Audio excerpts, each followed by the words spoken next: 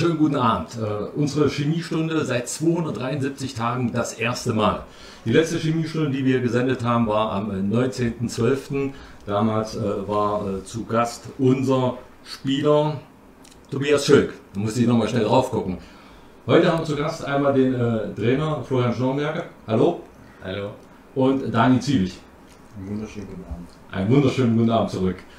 Ja, ähm, es ist bei uns Tradition, äh, dass wir immer in der ersten Sendung äh, versuchen, den Trainer zu bekommen. Diesmal haben wir sogar das Trainerteam, das freut uns sehr. Und äh, möchte gleich äh, mit Florian loslegen, dir eine Frage stellen, äh, wo ich davon ausgehe, dass du die Antwort nicht kennst. Äh, am 16.04.1977, hast du eine Ahnung, was da alles so passiert ist auf der Welt? nee, tatsächlich nicht. Aber das ist mein Geburtstag, das weiß ich natürlich. Aber viel mehr, aber dann auch nicht. Okay, ich habe mal zwei Sachen rausgesucht, die äh, ich äh, als relevant äh, einstufe, wo man da vielleicht das auch mal wissen sollte. Das eine ist, äh, der ähm, englische Außenminister Owen ist damals äh, nach Afrika gereist, äh, in die sogenannten schwarzen Frontstaaten, um dafür zur, zum Thema Apartheid in Südafrika zu diskutieren. Und das andere, was wesentlich wichtiger ist, da war der 22. Spieltag der DDR Oberliga. Und äh, an dem Tag hat der Hallische FC gegen Dynamo Berlin gespielt. Äh, wir lagen 0-1 zurück zur Pause. Danach äh, hatten wir mit Hartmut Bayer in der 73. Minute noch den Ausgleich geschossen und äh, hatten da vor 13.500 Zuschauern äh, ein Erfolgserlebnis. Zumindest ist der Ausgleich zu holen. War im Übrigen diese äh, Spielzeit eine sehr gute Saison für uns.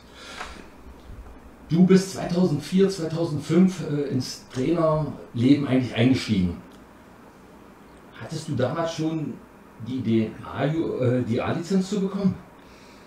Also erstmal war natürlich so, in der damaligen Zeit äh, war der Fokus noch total auf den Spieler. Naja, waren aber ganz, ganz wichtige Erfahrungen, um, äh, die ich da sammeln konnte. Und mit meinen Lizenzen habe ich dann ein bisschen später begonnen, aber es war schon immer so, ähm, wenn man dann vor einer Mannschaft steht, wenn man dann auch ähm, sehr, sehr gerne optimal vorbereitet sein will. Also alles, was dann Ausbildung gibt, ähm, aufzusaugen da war der Ziel schon, irgendwann mal bis zur A-Lizenz zu gehen. Äh, zu dem Zeitpunkt habe ich aber tatsächlich nicht dran gedacht, vielleicht mal den Fußballlehrer zu machen. Ja, war ja dann äh, im Jahr 2017 tatsächlich soweit, aber davor gab es dann noch äh, die äh, Station in Erntebrück und äh, da warst du am Anfang äh, nee, Trainer der zweiten Mannschaft und bist dann gewechselt als Co-Trainer zur ersten Mannschaft. Du machst gleich auch noch Sportmanager. Ist das so richtig, was bei Wikipedia stand? Ja, so ähnlich war es auf jeden Fall. Also 2010 bin ich hin, äh, dann habe ich die zweite Mannschaft trainiert. Zu dem Zeitpunkt hatte ich die A-Lizenz gerade gemacht und äh, hatte dann auch einfach Lust, äh, gewisse Dinge umzusetzen. Ähm, bin dann durch Peter Cestonaro, der Trainer der Ersten war, ähm, der hat mich dann schon unterstützt oder uns unterstützt mit Spielern und dann hat sich so entwickelt. Im Endeffekt sind wir dann in den ersten beiden Jahren zweimal aufgestiegen. Ja, danach bin ich dann hoch zu ihm als Co-Trainer und die sportliche Leitung war vakant und dann haben wir die Position geteilt. Ähm, so hat im Endeffekt alles immer, immer Vor- und Nachteile, war sehr, sehr zeitintensiv. Aber habe dann ähm, damals natürlich auch schon äh, im kleinen Rahmen hier so ein äh, ordentliches Netzwerk aufgebaut, um auch Kontakte zu pflegen, wenn es um Spieler geht. Ihr seid nicht nur aufgestiegen, ihr wart auch äh, dreimal äh, in der ersten Pokalrunde gewesen. Ja, also das waren ähm, nochmal Erdebrück für mich. Ähm, ja, werde ich natürlich nie vergessen. Acht Jahre sind lang und ähm, wenn man in der Bezirksliga startet, ich kann gar nicht oft genug sagen, dann kann man nicht davon ausgehen, irgendwann mal dritte Liga zu trainieren.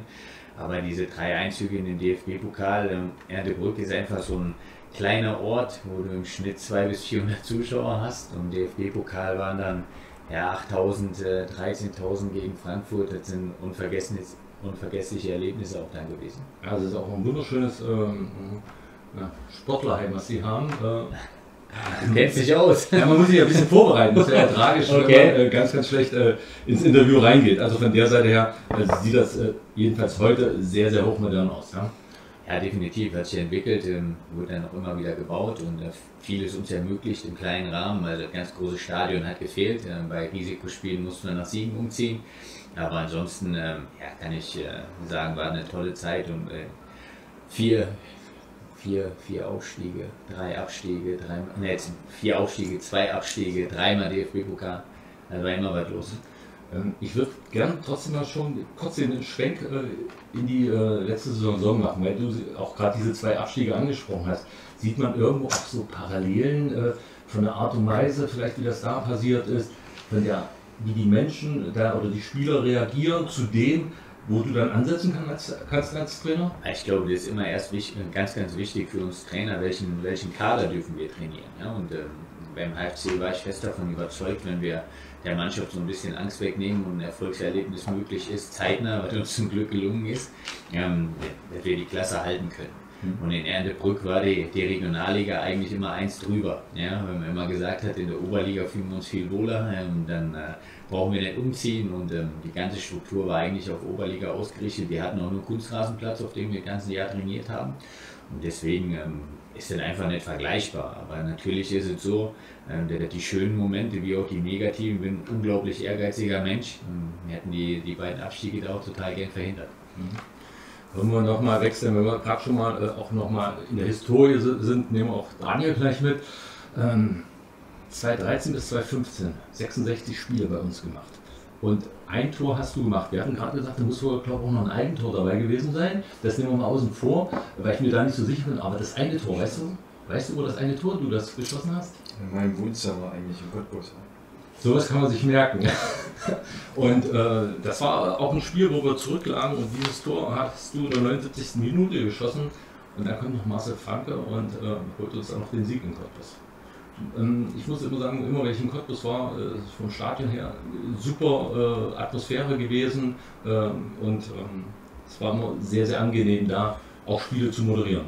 Ja, natürlich. Äh, für mich war, war es ein besonderes Spiel gerade in, in Cottbus und die Konstellation war natürlich auch nicht so einfach.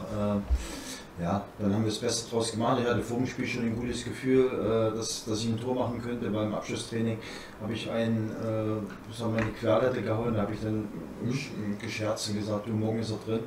Und so kam das dann auch. Dann hatte ich ein gutes Gefühl bei der Wärmung gehabt, weil der ein oder andere schon um den Winkel äh, reingeschossen ist. Äh, so ist dann die Situation entstanden, dass ich mir dann einfach gesagt habe, ich hau, das habe ich hau den Ball jetzt einfach aufs Tor und dann ging er rein. Dann haben wir im Endeffekt das Spiel noch gewonnen durch eine Standardsituation von Marcel Franke und ja, war das natürlich ein schönes Erlebnis äh, mit dem Sieg in, in Cottbus und äh, war ja sowieso in der, in der Saison, glaube ich, dass wir auswärts ich, die beste Mannschaft waren. Und ja, ich glaube, also, haben wir uns ja auch glaube als Auswärtsmeister äh, genau. tituliert. Richtig, vollkommen richtig, ja. 2015 äh, hast du aufgehört. Irgendwo habe ich dann für mich zumindest bis 2019 den Faden verloren, ähm, weil für mich eigentlich so offiziell 2019 erst das Trainertum als solches wieder bei dir angefangen hat. Äh, was hast du eigentlich so zwischen diesen äh, oder in den vier Jahren gemacht? Ja, 2015 ähm, habe ich mich im letzten Spiel in Osnabrück äh, am Knie, Knie nochmal ein bisschen verletzt und äh, es war ein bisschen langwieriger und dann war die Situation halt, wie geht es weiter und dann ähm, bin ich halt nicht mehr so aufs Trapez gekommen. Das heißt, ich musste meine Karriere durch eine Verletzung beenden.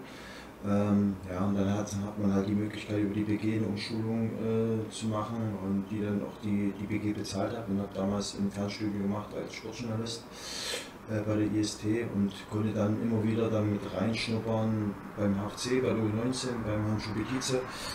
Ähm, ja, und so bin ich dann praktisch im Verein immer wieder treu geblieben und dann als Co-Trainer zweieinhalb Jahre. Und dann hat der Verein mir ermöglicht, dann einen Chefposten bei der U17 äh, zu, zu bekommen. Und dann habe ich ein Jahr als, als Cheftrainer gearbeitet, was sehr, sehr viel Spaß gemacht hat. Und dann ja, ist es dann halt so, kam die Corona-Zeit und dann die Geschichte kennen wir ja, der Trainer ist gekommen und dann wurde ich gefragt und dann haben wir uns Sonntag gesehen und dann haben wir einen guten, gut über Fußball gesprochen, glaube ich, äh, einen guten Eindruck voneinander gehabt und von daher sind wir das dann angegangen. Und der Rest wird ja, denke ich mal, an der Tischtennisplatte geklärt, richtig? Das sind nur die Gerüchte, die man so mal äh, wahrgenommen haben. Ja, wenn ihr alle beide lacht, kann es nicht so weit her sein, oder? Nee, wir spielen tatsächlich immer wieder mal, wobei in der Vorbereitung äh, sehr, sehr selten. Mhm. Ähm, sonst haben wir das in der Mittagspause immer mal getan, aber ja, macht Spaß und eine kleine Tischtennisplatte im Kraftraum und die haben wir dann schon mal genutzt. Ja. Eine spannende Frage, Daniel, die ich noch an, an dich habe, ist, ähm, wenn du jetzt als Trainer äh, nach dem Spiel in den äh, Bus steigst, hast du da andere Gedanken als Spieler? Weil als Spieler gehe ich davon aus, du hast gespielt, du ärgerst dich vielleicht, äh, dass du gewonnen hast oder dass, Entschuldigung, dass, dass man verloren hat oder man freut sich, dass man gewonnen hat. Und geht man als Trainer dann, als Co-Trainer dann anders in den Bus vielleicht rein, macht sich anders Gedanken? Ja, zum einen wollen wir ja trotzdem Spiele gewinnen. Wenn wir Spiele gewinnen, äh, so, freuen wir uns. Und die Corona-Zeit hat uns, glaube ich, auch sehr geprägt, weil es eine sehr intensive Zeit war. Wir hatten alle drei Tage Spiel, das bedeutet, wir haben uns kurz gefreut, hatten aber schon die Spielanalyse auf dem, auf dem Laptop oder haben uns schon auf den nächsten mhm. Gegner vorbereitet. Das ist in diesem Wochenrhythmus ein bisschen was anderes. Dann kann man mal durchschnaufen, man guckt sich das Spiel nochmal an. Also die Zeit Corona war sehr intensiv, weil wir, glaube ich, alle drei Tage oder zwei Tage uns vorbereiten mussten auf einen neuen Gegner. Äh, das ist natürlich als Spieler nochmal was anderes, äh, da kannst du mal durchschnaufen, aber selbst als Spieler war ich so, da hat man gewonnen, hat man sich gefreut und hat sich selber nochmal einen Input äh, von dem Spiel geholt und hat sich dann eigentlich schon Montag, Dienstag mit dem neuen Gegner beschäftigt. Zumindest war es bei mir als Spieler so. Ja, dann gab es ja die Zeit, jedenfalls bei unserem Trainer, dass Groß Asbach deine erste Station war, wo du ähm, Cheftrainer einer Profimannschaft warst. Ähm, da war es ja so gewesen, dass du ja am 17.02.2018 eigentlich in eine Mannschaft reingeworfen worden bist, äh, die schon da war. War im Oktober, müsste der 17. Oktober gewesen sein. Und ist dann tatsächlich so. War dann äh, zum ersten Mal, wo man jetzt an der Kaderplanung nicht beteiligt war. Aber nochmal, äh, wir Trainer können ja auch rein theoretisch sagen, die Aufgabe machen wir nicht. Mhm. Ja, und ähm, ich habe mich riesig gefreut, dass Groß Asbach für mich damals möglich war. Ähm, habe den nächsten Schritt eigentlich in der Regionalliga gesehen. Auf einmal ist man in der dritten Liga dabei. Wir hatten dann äh, auch, glaube ich, nur drei, war glaube ich auch nur drei Tage Zeit zum ersten Spiel. War damals Meppen, was wir in der Nachspielzeit dann glücklich 1-0 gewonnen haben, was dann auch ein guter Einstieg war. Und äh, auch dort war natürlich eine sehr, sehr intensive Zeit mit einer ganz kurzen Vorbereitung im Winter. Mhm. Ja, und äh, ja, möchte ich nicht missen, die Erfahrung. Und da kam ja äh, das Spiel in äh, Karlsruhe irgendwann dann hattest du ja für dich eigentlich ein Jahr äh, Ruhe gehabt, äh, bevor du dann jetzt äh, zum HFC gewechselt bist. Was macht ein Trainer, wenn er momentan nicht äh, an der Seitenlinie steht? Also erstmal das Allerschönste für uns ist ja immer mit einer Mannschaft zu arbeiten. Das habe ich total vermisst, äh, dann nach so einer langen Zeit, weil ich doch gar nicht gewohnt war, so lange warten zu müssen. Mhm. Gab dann immer das eine oder andere, wo, wo ich dann gesagt habe, hier, das, das möchte ich jetzt nicht machen oder wo der Verein dann äh, den ich interessant gefunden habe, dann gesagt hat, hier ist äh, für uns, wir planen anders. Aber um auf die Frage zurückzukommen, man schaut sich tatsächlich unfassbar viele Spiele an. Ich war fast jedes Wochenende da genutzt, aber auch seltener live im Stadion, sondern viel, viel äh, vom Fernseher und habe drei, vier, fünf Drittligaspiele gesehen. Ähm, weil man ja einfach eins machen muss, wenn ein Anruf kommt, man muss ja den Kader kennen. Weil sonst kann man nicht sofort anfangen und dann kann man auch die Verantwortlichen nicht überzeugen. Und man weiß ja im Endeffekt gar nicht, welcher Verein irgendwann mal Trainer sucht. Und deswegen ist das schon eine sehr, sehr intensive Zeit. Ja, äh, man muss, hat immer das Gefühl, man muss optimal und will optimal vorbereitet sein, wenn der, wenn der Tag kommt. Also heißt das eigentlich fast noch mehr äh, Stress, äh, weil man sehr viel anschauen muss, gucken muss, äh, als wenn man dann sich auf eine Sache dann fokussieren kann.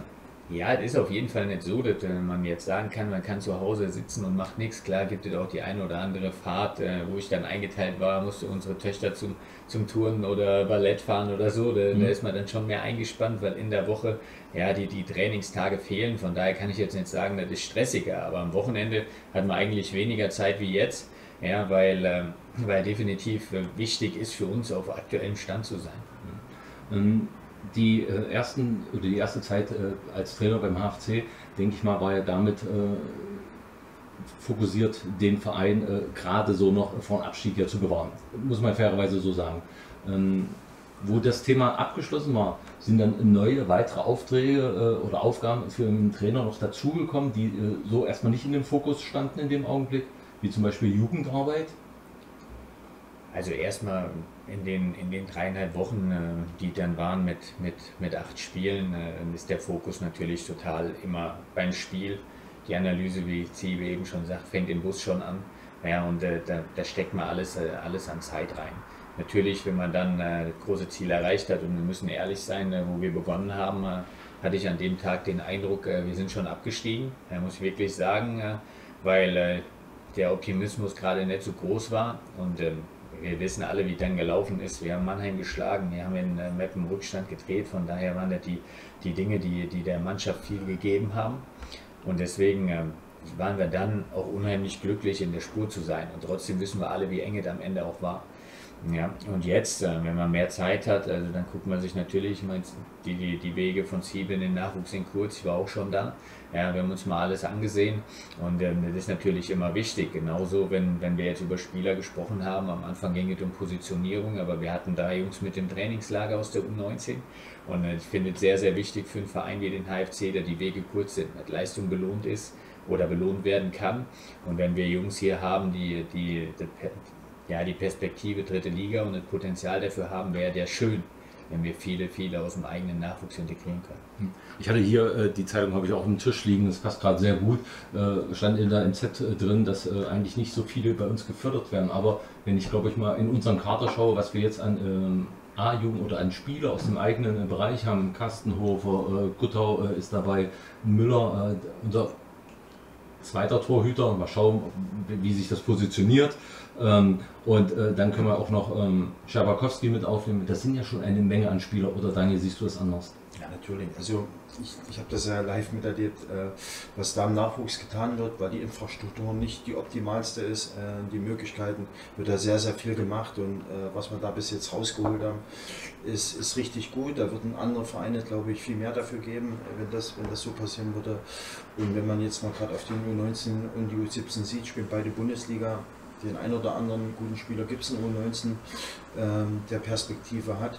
Wir sagen immer, wir machen die Tür auf, die Jungs müssen durchgehen, aber das ist so ein komplexer äh, Jahr für die Jungs, ja, mit Schule, ähm, dann mit Erfolg, dann müssen sie einen Abschluss machen, dann mit Fußball müssen sie sich weiterentwickeln, dann ist der, die Familie, die im Hintergrund mitwirken muss. Also es sind so viele Puzzleteile, die funktionieren müssen, damit so ein Junge es schafft. Aber wie gesagt, ich kann da nur mit, Stolz und breiter Brust einfach sagen, weil ich das den letzten Jahren miterlebt habe, was da, da dafür geleistet hat, die Möglichkeiten, die man dafür hat, äh, das ist großartig. Hm. Ja, gerade ihr seid ja auch äh, aufgestiegen damals mit der U17-Mannschaft äh, im letzten Jahr. Und ähm, auch auf der Internetseite steht ja, dass eigentlich die U17 das äh, Flaggschiff ist. Ähm, ist das der Bereich U17 so der Sprung, wo sich die Spreu vom Weizen trennt und dann zur U19 hingehen, gucken, wer dann äh, wirklich diesen Schritt dann weitergehen kann? Kann man das so vielleicht? Das ist schwierig. A, bin ich nicht aufgestiegen U17, sondern war es mein, mein Vorgänger mhm. Gilbert Hernandez, aber der Jahrgang ist schon richtig gut, ähm, der das geschafft hat und praktisch jetzt U19-Jahrgang ist. Ähm, mit meiner Truppe letztes Jahr in 17 haben wir in der Bundesliga natürlich auch ein bisschen Lehrgeld gezahlt, weil Erwartungshaltung bzw. Ähm, Durchgängigkeit war, war, nicht, war nicht gegeben. Äh, von daher ähm, arbeiten wir jetzt schon am Limit oder arbeiten die Trainer am Limit und ich glaube, dass jetzt für beide Mannschaften U17 und 19 Bundesliga äh, eine große Herausforderung ansteht. Aber ich bin da guter Dinge, dass, dass die Jungs sich entwickeln, weil es wird A und O sein, dass man die gut ausbildet und da wird man sehr gut die Reise hingehen. Wäre es für dich wichtig, die äh, beiden Mannschaften auch äh, in der äh, Bundesliga weiterzusehen? Ja, generell ist es immer für die Entwicklung von jungen Spielern äh, sehr, sehr wichtig, am höchsten Niveau äh, geprüft zu werden mhm. jede Woche. Und wir haben jetzt schon gemerkt, also nochmal, die Jungs, die bei uns waren, die haben es wirklich nicht schlecht gemacht und äh, die Wege sollen kurz sein, weil es ein Form kann, wenn wir jetzt den Transfermarkt von, von diesem Sommer mal analysieren, wie hart, wie schwer es auch ist, äh, ja, wie viel Finanzkraft viele andere Vereine dann noch haben. Es ist einfach ein Riesenvorteil, wenn Spieler aus dem eigenen Nachwuchs erzeugt dazu haben, dritte Liga zu spielen. Hm. Ja, jetzt hast du schon wieder äh, eigentlich die, das Tor für die nächste Frage geöffnet. Ähm, du sagtest, es ist schwierig, auch teilweise war auf dem Finanzmarkt, äh, auf den äh, Transfermarkt. Ähm, bist du mit dem, äh, was du jetzt auch bekommen hast vom Westkamp, zufrieden, was da ist? Also erstmal würde ich nicht so sagen, dass ich von Ralf Heskamp mhm. bekommen hätte, ja. sondern ich glaube, wir haben im Gesamten unglaublich gut zusammengearbeitet. Mhm. Ja, sowohl Ziebe, ähm, Ralf natürlich auch, aber wir waren im Vorstand im ständigen Austausch, weil ähm, ich habe das oft gesagt, ne, dass immer wirtschaftliche und sportliche Faktoren dann eine, eine, eine ganz, ganz entscheidende Rolle spielen. Und äh, wir haben auch gemerkt, äh, bei dem einen oder anderen Spieler, ohne jetzt Namen zu nennen, wenn da andere Vereine eingestiegen sind, dann äh, ja, dann war es halt nicht mehr möglich, äh, die Jungs zu bekommen. Mhm. Und trotzdem, ich habe auch schon mal vor ein paar Wochen erwähnt, war für uns ganz, ganz wichtig, dass wir den Eindruck hatten, äh, die Jungs wollen auch gerne zu uns. Ja, wir wollten keinen überreden und haben immer gesagt, dann äh, soll, sollen die Jungs lieber was anderes machen, wenn sie nicht überzeugt sind. Weil im Endeffekt wollen wir gute Leistungen auf dem Platz sehen und da muss sich jeder, jeder Spieler auch mit, mit unserem Club identifizieren. Mhm. Daniel, wart ihr dann alle beide mit dem äh, Trainingslager und mit der Vorbereitung so vollumfänglich auch zufrieden? Ja, also grundsätzlich waren wir zufrieden. Gute Bedingungen halt im Trainingslager, sagt man immer, guter Platz, gutes Essen und gute Schlafmöglichkeiten. Ja, das sind die drei, die wichtig sind. Von daher war, war das alles okay mit Gegebenheiten, die wir hatten. Äh, mit Verletzungen waren wir auch verschont. Also ähm, von daher bis jetzt, Stand jetzt, äh, hat alles bis jetzt gut funktioniert und äh, sind jetzt auf der Zielgeraden, was Vorbereitung angeht. Magdeburg steht vor der Tür. von daher freuen wir uns alle schon auf das Spiel. Bad Blankenburg ist ja äh, ein Ort, äh, wo wir auch als äh, HFC-Fanradio schon des Öfters sein durften. Und äh, gerade wenn man die Plätze sieht, kann da schon richtig, richtig heiß werden. Mhm. Aber da gibt es ja auch an der Seite einen schönen Bach, wo man sich da mal äh, auch ein bisschen abkühlen kann. Hatten wir jedenfalls auch bei uns öfters gesehen. Also seid ihr soweit zufrieden und äh, freut euch auch jetzt auf den Start äh, am Sonntag. Ja, definitiv. Ich habe gestern schon gesagt, also es ist so, dass wir mit dem jetzigen Stand zufrieden sein können, war eine sehr intensive Vorbereitung, weil auch länger wie normal. Wir hatten sechs Wochen Zeit. Am Anfang sind wir mit drei Neuzugängen gestartet. Mhm. Jetzt sind wir bei neun Neuzugängen und haben die Kaderplanung abgeschlossen. Da war eine Menge los.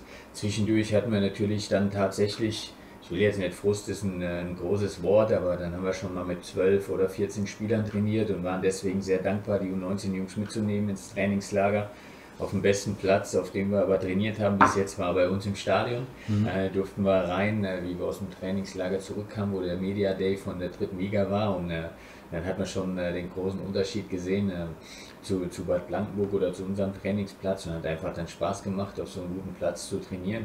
Aber ansonsten sind wir mit dem jetzigen Stand wirklich zufrieden. Äh, die Stimmung ist positiv und ja, die Vorfreude natürlich auch riesig. Klar. Mhm.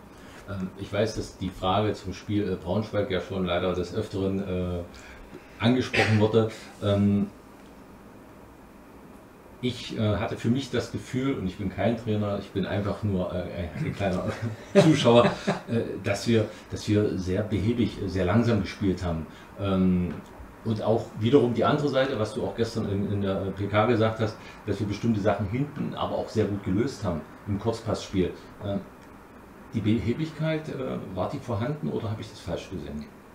Also generell ähm, über allem steht erstmal mit dem äh, Ergebnis und äh, Ergebnis ist nun mal entscheidend im Fußball überhaupt nicht zufrieden waren und deswegen war auch ein bisschen Enttäuschung da.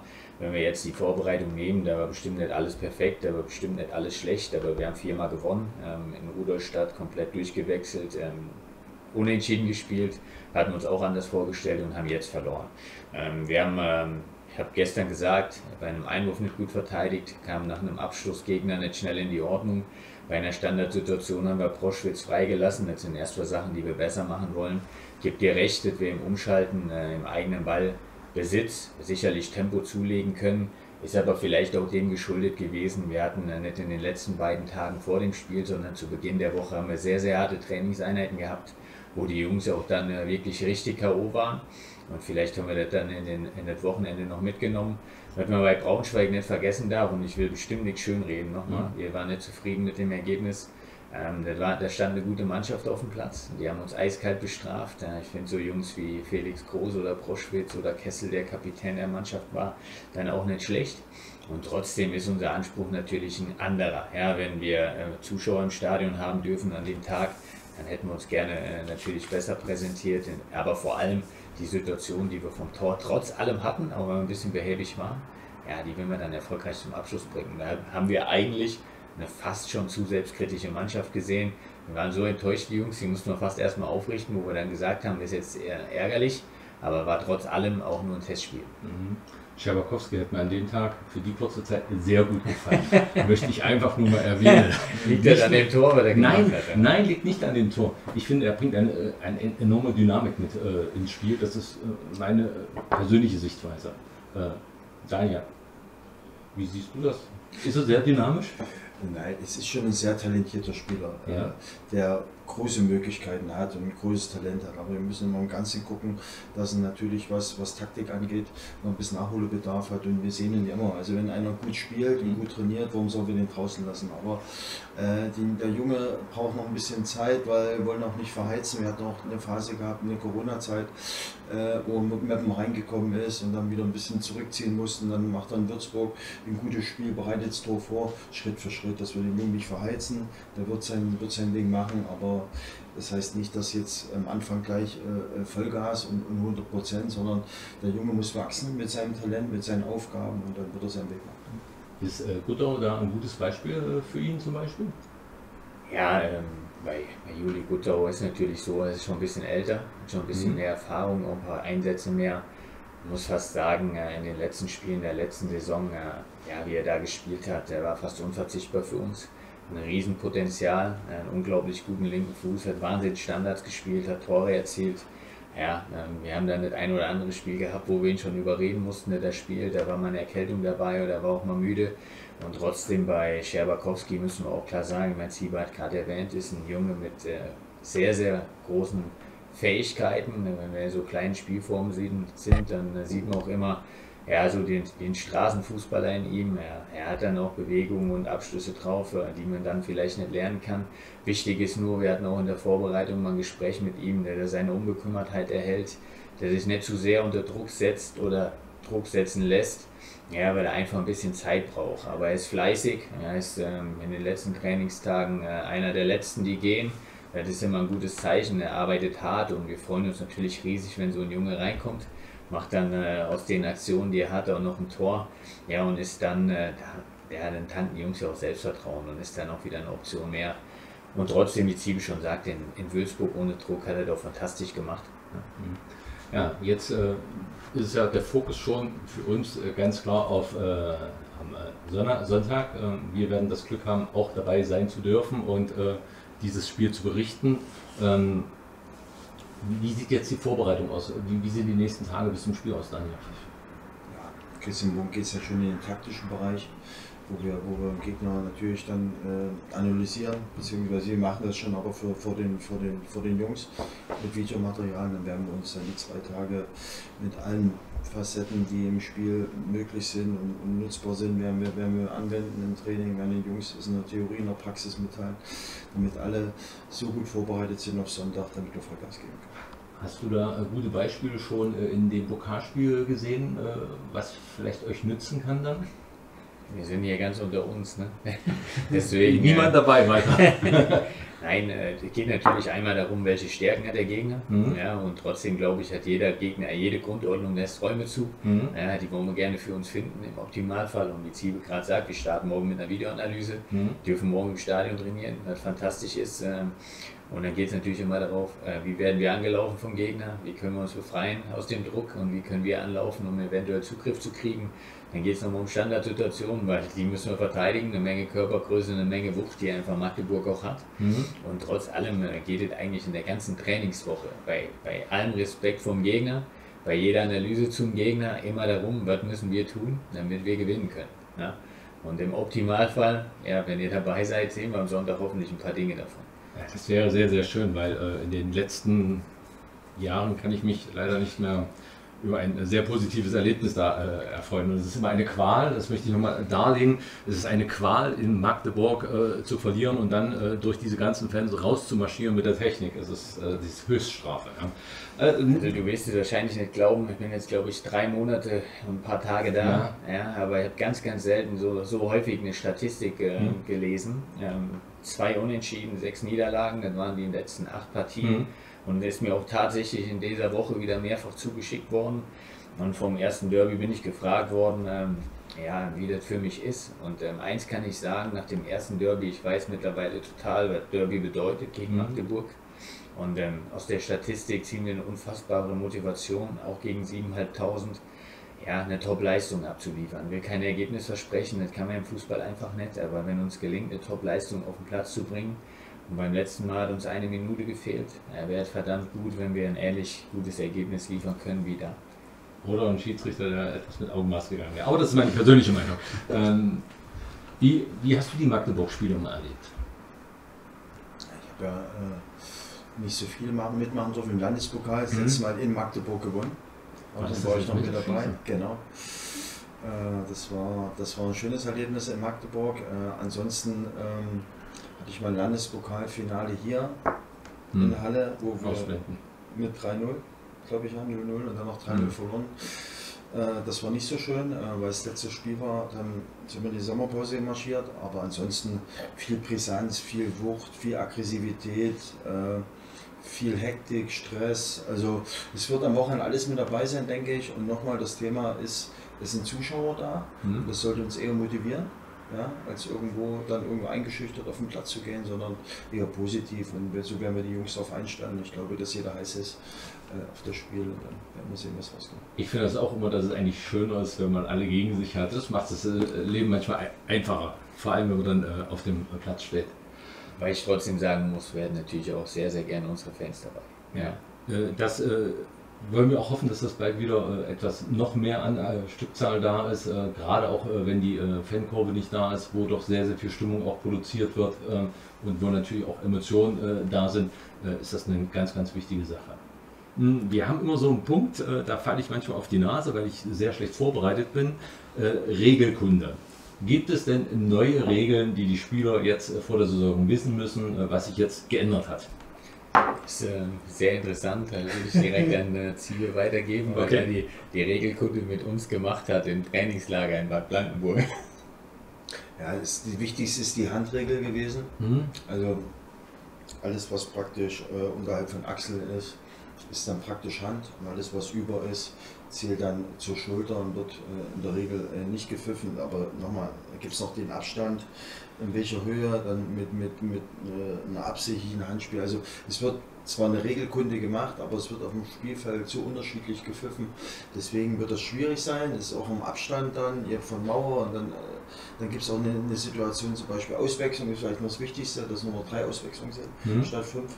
Das was für uns wichtig ist. Alles andere äh, haben wir zum Beispiel jetzt ein Thema gehabt, wo wir in Köcke gespielt haben. Äh, wenn jetzt unser Stürmer aus dem Abseits rauskommt, äh, der nimmt den Ball im eigenen, in der eigenen Hälfte an, dann wird dort ausgeführt oder wird gepfiffen, wo er den Ball annimmt. Mhm. Und die Regel gibt es aber auch schon zwei Jahre, also es hat da nie irgendjemand interessiert oder ist nicht mal irgendwo in die Richtung stattgefunden. Von daher, es gibt viele, nicht mehr so viele Regeländerungen, aber die paar, die bin ich mal gespannt, äh, wie man die alle umsetzt, weil es ist die eine oder andere Situation dabei, wo man, wo man schon sagt, es ist sehr kompliziert.